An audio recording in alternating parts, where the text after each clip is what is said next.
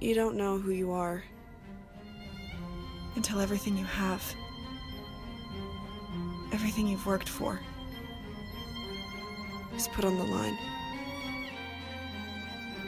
And what you have to do, who you have to become, to protect it, will change your life forever. I am so proud of both of you guys. I love you so much.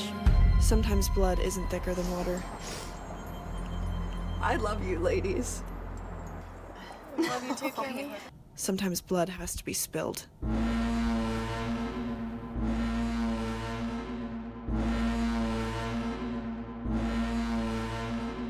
I am literally falling apart inside. I feel like I am going in.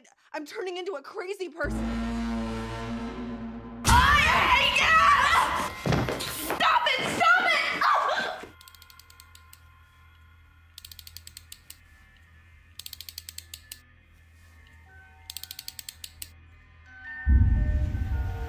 Cammy? 911, what's your emergency? Sis, so glad you can make it.